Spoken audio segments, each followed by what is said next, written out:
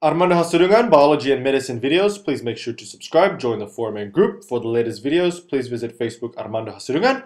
Please like, and here you can also ask questions, answer questions, and post some interesting things, including your artworks. You can also change the quality settings to the highest one for better graphics.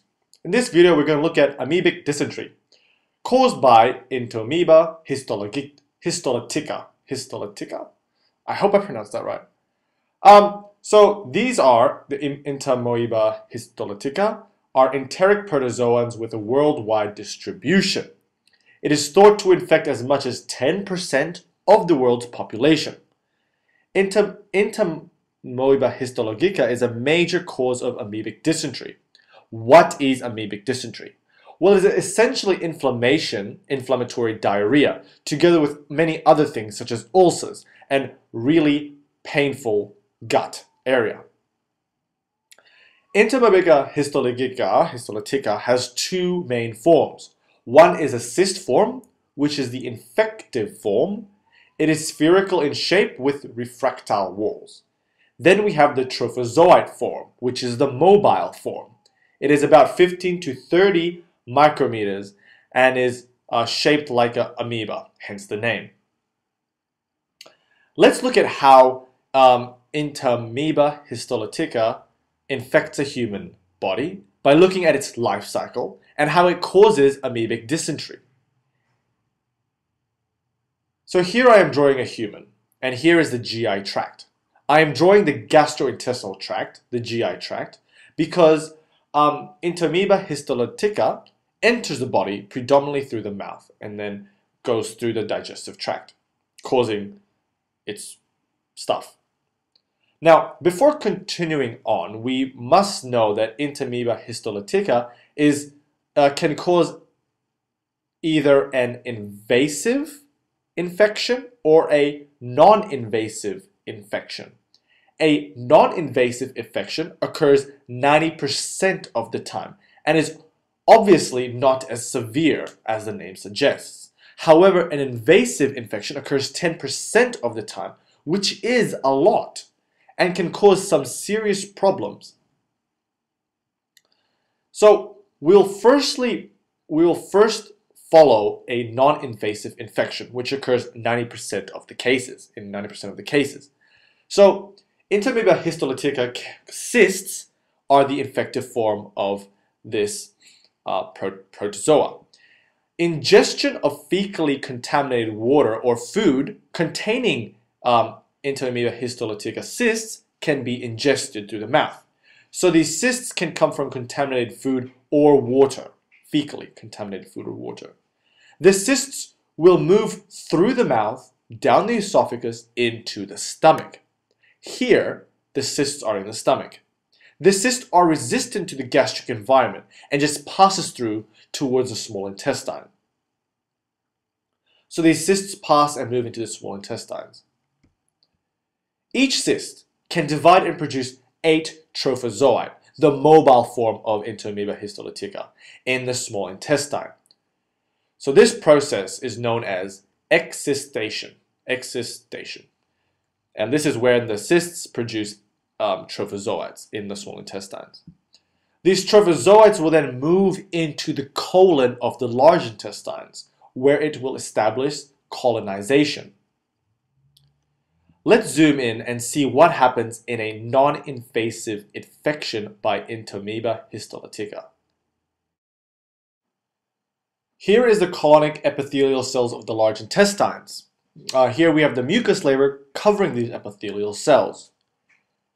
The histolytica trophozoites will uh, essentially go just be on the surface of this mucus and begin multiplying by binary fusion the trophozoites will colonize in the mucus layer and form new cysts. This process is called encystation, where they make new cysts. So here we have the trophozoites, which will just colonize the colon of the large intestines and just produce a lot of cysts. And this is the non-invasive infection. The cyst will just exit out of the body in stool, in the feces, and then the cyst can infect new humans through contamination by contaminating food or water. So essentially, in the non-invasive infection, these trophozoites will live within the human asymptomatically and might produce some discomfort and some diarrhea, but nothing invasive, hence the name non-invasive infection, and the cysts will just exit out of the body. How about in an invasive infection? What happens then? Well, let's take a look. So here again we have the colonic epithelial cells and the mucus. In an invasive infection, the trophozoites will invade and colonize the colonic epithelial cells. And this will cause the epithelial cells to lyse, to die. And this will create ulcers within the large intestines. And of course, because they're trying to invade a, a, cell within the body, there will be an immune response. For example, neutrophils will respond to the invasion and cause further damage by um, through the through lysing itself. And so essentially, this will aggravate the whole process and will create ulcers, as you can see. So the epithelials will start developing ulcers within the colon of the large intestines. And then it will just essentially damage this whole epithelial layer and mucus, and then the trophozoite can then move into the bloodstream. When in the bloodstream, the trophozoite can target other organs. So, invasive infection is when the, the trophozoites, through the bloodstream, can infect uh, other organs, such as the liver, the lungs, and rarely the brain. So for example, this trophozoite can infect the liver, forming liver abscesses, or it can form the lung, forming lung abscesses, which is not very common, or very rarely it can go into the brain and form brain abscesses. It can cause brain abscesses formation. So essentially, from all this, we can we know that the invasive infection, which, which constitutes about 10% of Entamoeba histolytica infections is very serious. It can cause definitely inflammatory diarrhea, which is a characteristic of amoeba, amoeba dysentery. It can cause leukocytosis. It can potentially cause amoebic liver abscess formation, and rarely lung and brain abscesses. It can also cause colitis and ulcers, uh, which is exactly the same thing, ulcerative colitis, sort of the same, which is actually a very a big characteristic of amoebic dysentery, the ulcer formation in the large intestine, in the colon.